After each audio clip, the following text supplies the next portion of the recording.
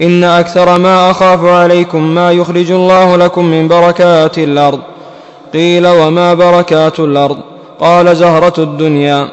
فقال له رجل هل يأتي, هل يأتي الخير بالشر؟ زهرة الدنيا. زينة الدنيا. زينة الدنيا. لأنها كما قال زي الناس حب الشهوات من النساء والبنين.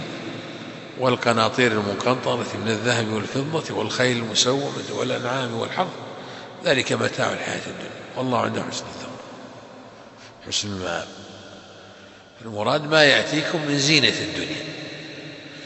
ما تخرج الأرض.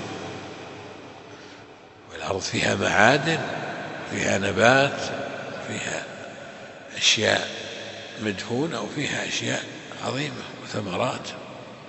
نعم. أحسن الله عليك.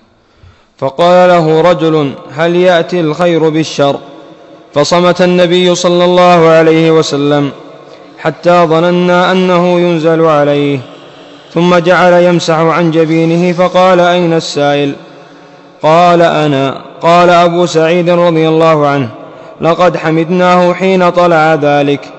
قال لا يأتي الخير إلا يعني بالخير. يعني إن الخير المراد به المال. والمال هو عصب الدنيا. المال هو عصب الدنيا. والله تعالى جعله من أجل أن يستعان به على طاعة الله ويتقرب به إليه. والمال الذي يأتي إما نقد نقد مضروب من الذهب والفضة وكلاهما يخرج من الأرض.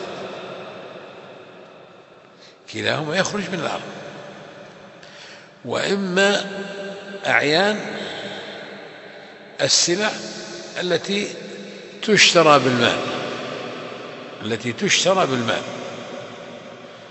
فكل هذا من متاع الدنيا كل هذا من متاع الدنيا. كل مما يستخرج من الأرض. فلذلك خشي النبي صلى الله عليه وسلم على الصحابة اتساع الدنيا وانبساط الدنيا.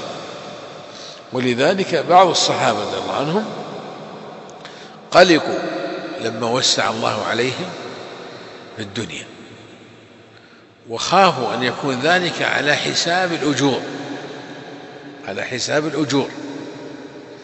فقالوا إن منا أناسا يعني ماتوا قبل أن تبسط الدنيا مثل مصعب بن عمير وغيره من الصحابة الذين لم يوجد لهم كفن يكفيهم.